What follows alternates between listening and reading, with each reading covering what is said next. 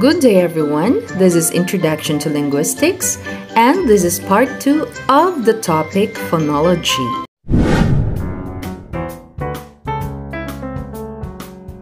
Today, we're going to talk about the distinctive features of phonemes.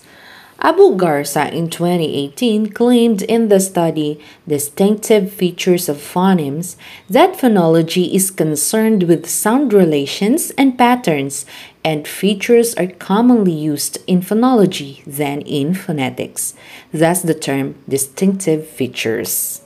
Fromkin, Rodman, and Hyams in 2014 wrote that when a feature distinguishes one phoneme from another, it is a distinctive feature or, equivalently, a phonemic feature.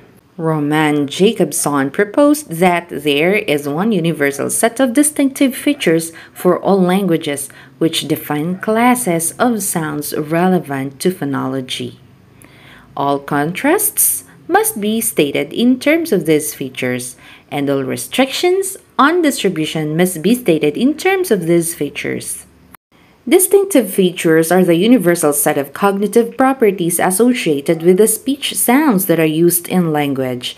They determine the contrasts which may exist between speech sounds, account for the ways in which these sounds may change or alternate, and define the sets of sounds. Feature systems the formal development of distinctive feature theory is due primarily to Roman Jakobson. He formulated that only binary oppositions are accepted, plus and minus sign. Description should be based on a minimum number of DFs, or distinctive features. These are selected from a limited set of universal DFs.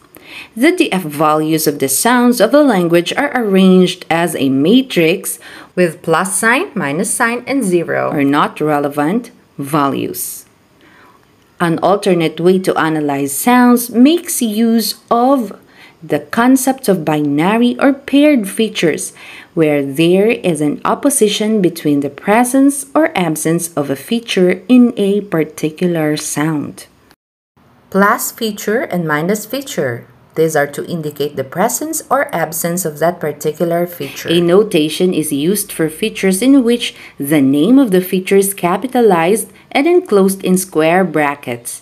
The presence of the feature is indicated by a plus sign and its absence by a minus sign. The following table shows the major features. The first column are the features, second column definitions, and the third column examples. Let's start off with sonorant. Sonorants have spontaneous voicing, and examples for this are vowels, approximants, and nasals. Non-sonorant. Non-sonorants are also called obstruents. Spontaneous voicing is not possible, and they have both voiced and non-voiced elements. Examples, we have plosives, fricatives, and affricates. Vocalic. In producing vocalics, there's no obstruction at any point. These are vowels, semivowels, r and l.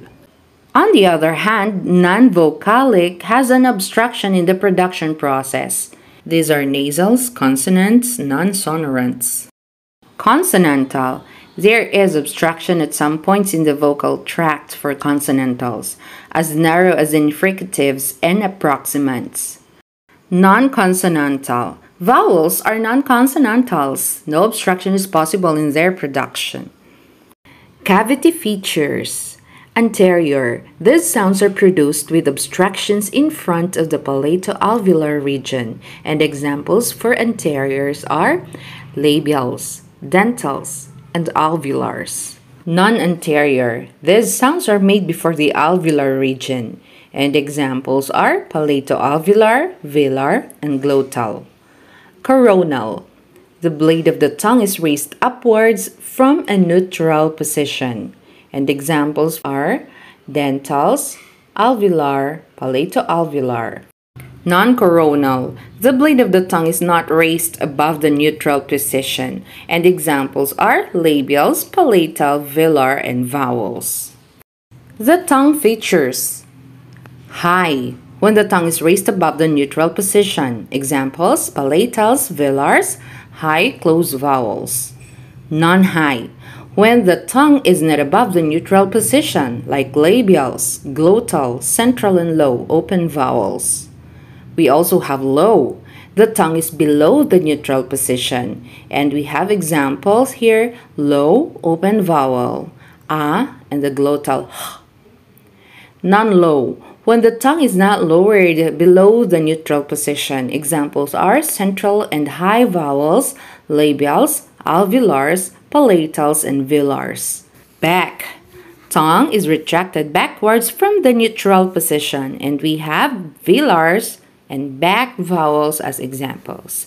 Non-back, when there is no retraction of the tongue and sounds in front of the velar.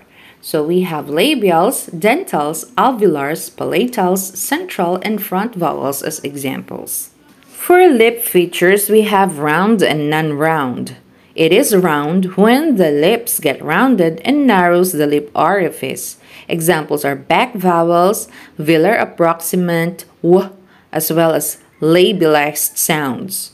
We also have non-round. Such rounding does not occur in this case, and examples are all front, central, and low open back vowels, coronals, palatals, alveolars, and non-labialized velars. For secondary aperture features, we have nasal and non-nasal. For nasal, velum is lowered to allow air stream pass through the nose, and for non-nasal, velum is not lowered for its production, and there is an oral articulation of sounds. All oral sounds are produced in this manner. For manner features, we have continuant. There is no total blockage of air at the point of articulation. Examples are fricatives and approximants. Non-continuant. There is blockage of airflow at some point in the constriction of the articulatory organs, and examples are plosives and affricates. We also have delayed release. The air is gradually released after its obstruction. And examples are the affricates ch and j. And we also have non-delayed release. Obstructed air is released instantaneously. Example of this is plosives. Phonation features. We have voiced and non-voiced. For voiced, there is a vibration of the vocal cords in its production, and examples are all English vowels, voiced consonants in English. And we also have non-voiced, wherein there is a free passage of air through the glottis. And examples are voiceless consonants, devoiced vowels, and consonants. Remember that DFs are phonological features, so such devoiced consonants and vowels can occur due to environmental conditioning.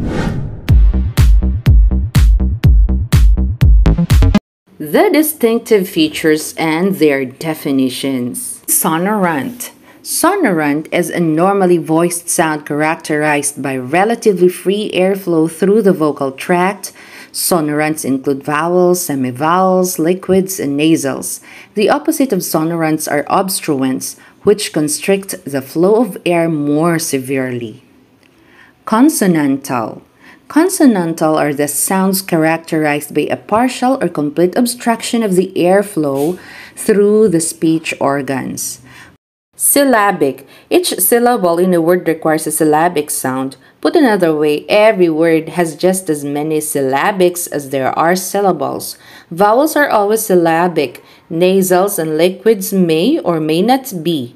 Hence, they are marked that way on the chart, which is going to be shown later, and the other consonants are never syllabic. Continuant. The flow of air in continuants is not blocked at any point in the articulation of the sound. They include all the sounds other than stops and affricates. We also have nasal. When the velum is relaxed, the air flows through nasal cavity to produce nasal sounds. Labial. Labial sounds are articulated by an obstruction at the lips. This does not include rounding, which also takes place at the lips. We have p, b, f, v, and. Alveolar. Sounds are formed by touching or nearly touching the tip of the tongue to the hard ridge immediately behind the upper front teeth. We have t, d, s, z, n, l, r. Palatal. Sounds are produced by moving the front part of the tongue to or near the hard palate at the roof of the mouth. Velar. Sounds are produced by moving the back of the tongue to or near the velum or soft palate. Coronal. Sounds are made by raising the front or blade of the tongue from a neutral position. We have the interdentals, alveolars, and alveopalatals. Sibilant. As the name suggests, sibilant sounds produce a hissing effect by forcing the air through the narrow opening formed using the middle of the tongue. Anterior. Anterior sounds are produced by an obstruction in the front part of the oral cavity from the alveolar ridge forward. They include labials, interdentals, and alveolars, but not alveopalatals. Voiced. Voiced sounds are produced with vibrating vocal cords. They include all sounds that are plosive on the plasonorant and with the exception of all obstruents come in voiced and voiceless pairs. Back. A sound produced in vowels and semivowels with the tongue drawn back or retracted from a neutral position. Rounded. Sounds produced with a rounding of the lips to give a narrow opening. Low. Low sounds are produced with the jaw slightly open to allow the body of the tongue to draw lower. American English has three low vowels. Note that vowels that are neither high nor low are mid vowels, which are otherwise not categorized here. Tense. Tense sounds are produced with a contraction of muscles at the base of the tongue. In American English, the feature applies only to vowels that are not low. Observe the feature grid of English consonants here.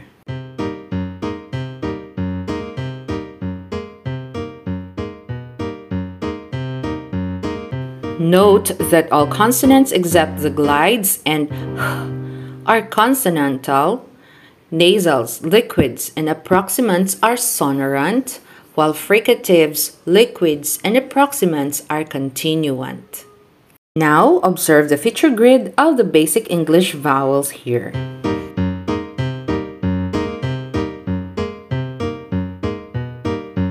Note that vowels are all vocalic, an open oral cavity with voicing, as well as sonorant, voice, continuant. The diphthongs A, U, I, ow, o, and oi cannot be distinguished by these features but must be treated as a combination of vowel plus glide.